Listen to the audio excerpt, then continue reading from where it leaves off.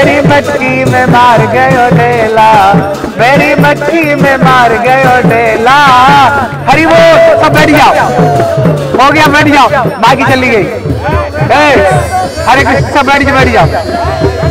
Everybody seat down mic नहीं है। हरे कृष्णा सब बैठ जाओ माइक चली गई। माइक बंद हो गई। हरे कृष्णा हरि बोल।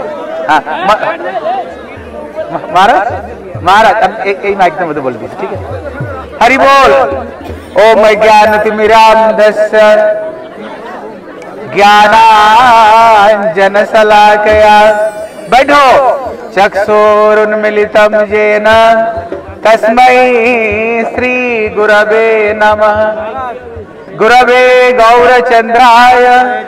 राधिकाय यैस्तदालये कृष्णाय कृष्णभक्ताय तद्भक्ताय नमो नमः।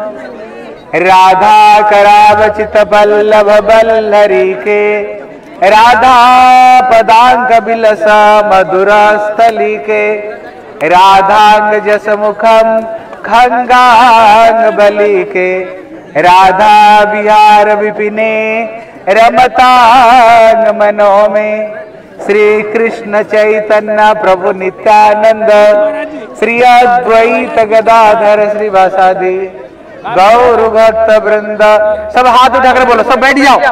बोला, हरे कृष्ण हरे कृष्ण कृष्ण कृष्ण, हरे हरे हरे राम हरे राम राम राम। बोला, हरे कृष्ण हरे कृष्ण कृष्ण कृष्ण हरे हरे हरे राम हरे राम राम राम, हरे हरे।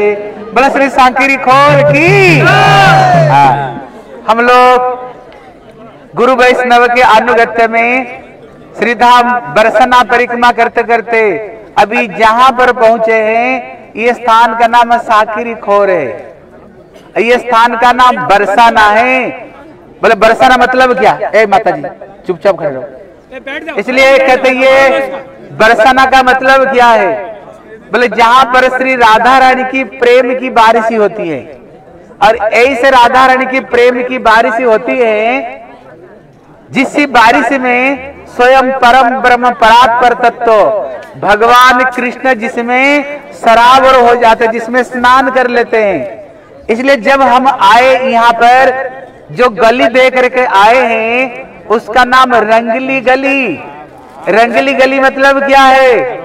जहाँ पर श्री राधा कृष्ण सखियों के साथ में, सखाओं के साथ में, जहाँ पर होली खेलते थे। कहते ना आज बीरज में? होली रे रसिया। आज बीरज में होली रे रसिया। है? इसलिए जिस होली खेलते थे, जिस होली में श्री राधा रानी अपना गुलाल रंग से, श्री श्याम सुंदर को ऐसे गुलाल रंग से संपूर्ण उसमें उसको सराबर कर देती थी। हाँ इसलिए उसका नाम रंगली गली और इसका नाम गौहर बन गौहर बन नाम क्यों पड़ा? बोले, गौहर मतलब होता है गंभीर। इसलिए जिसको श्री भक्ति विनोद ठाकुर कहते हैं, राधिका भाव गंभीर। चित्त जेवा महाधीर इसलिए राधा रानी का प्रेम ही गंभीर है, जिसको श्री प्रबोधानंद सरस्वती कहते हैं, ब्रह्मे स्वराज सुदुरु पदार बिंदम, श्री मत पराग परमाद्भुत वैभवया।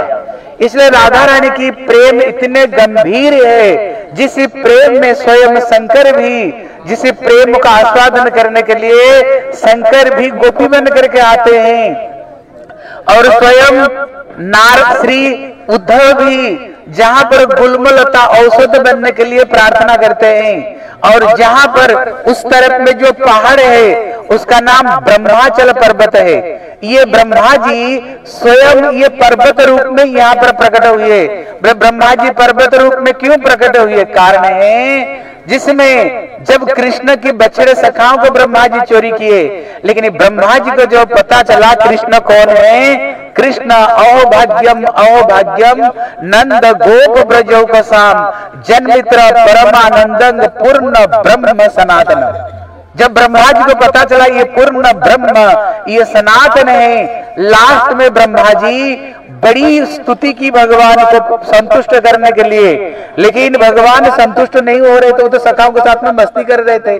और सखा लोग खिल्ली उड़ा रहे थे, ये चौमा चौमा कहाँ से आ गया? ये चार मुँह वाले, ये अजीब सा कोई इंसान कहाँ से आ गया?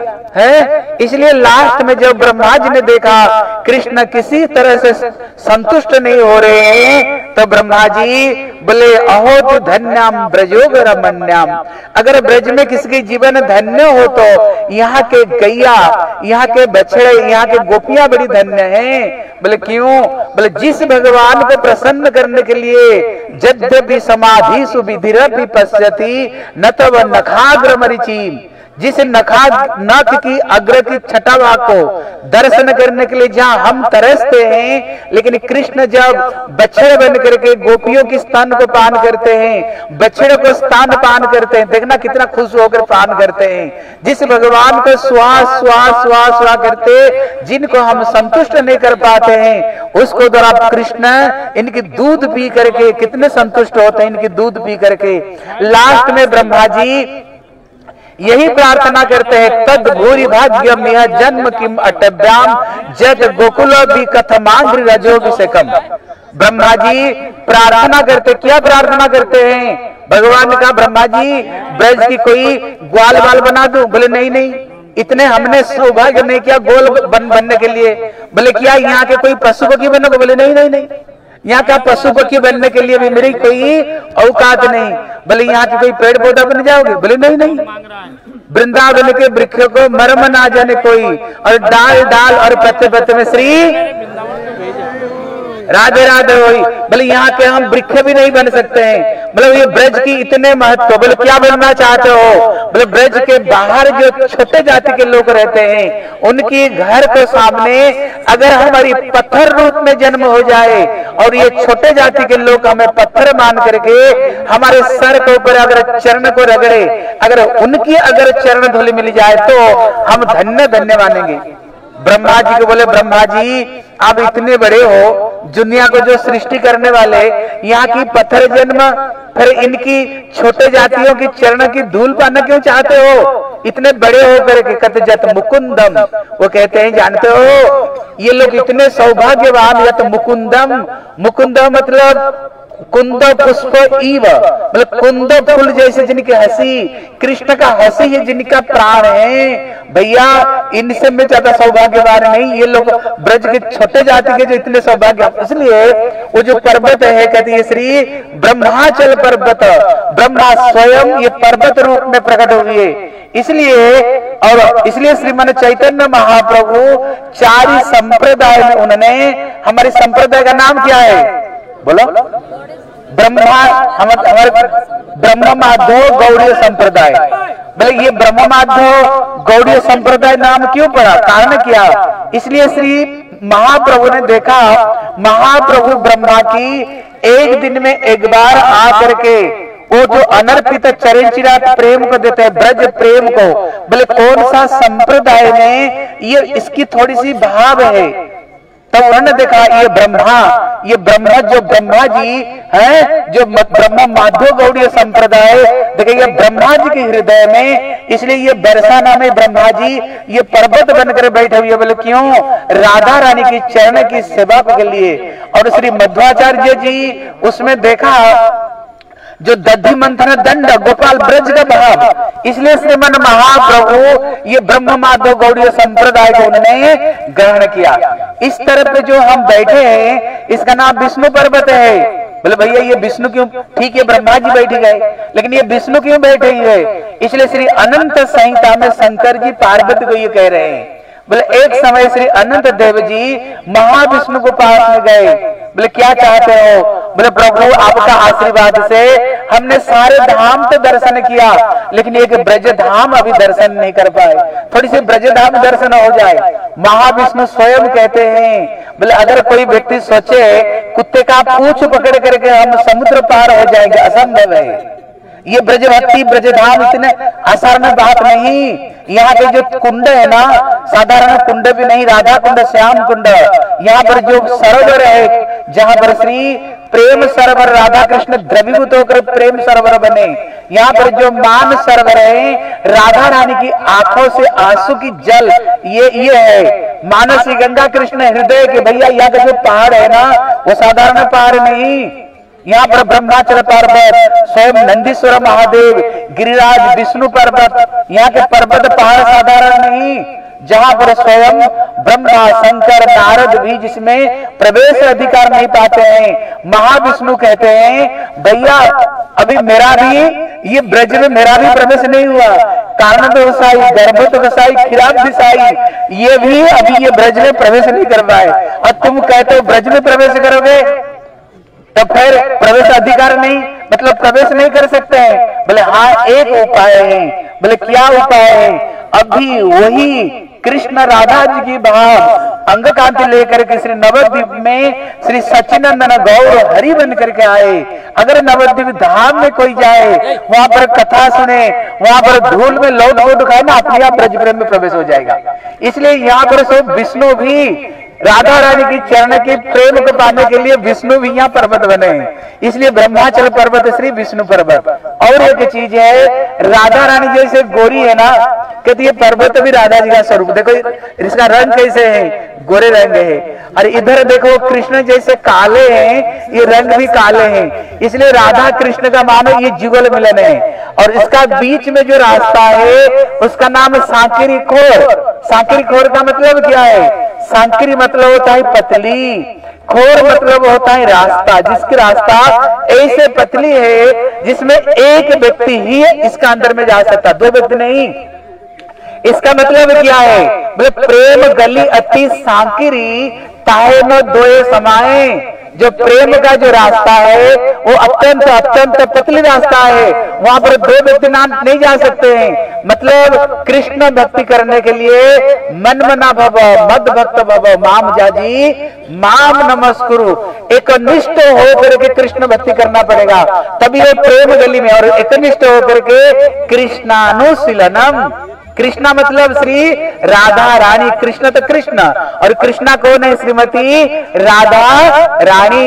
मतलब श्री राधा जी की आनुगत्य में ही अगर भजन करोगे ना, फिर तो प्रेम रूपी गली में जा सकते हो। इसलिए यहीं पर कृष्ण सखाओं को साथ में गैया चराने के लिए यहीं पर आते थे। सखा ने कहा कन्हैया आज पेट में चूहे कूद रहे हैं, कुछ खाने पीने का व्यवस्था कर दे। बोला, आओ ना, चिंता क्यों करते हो?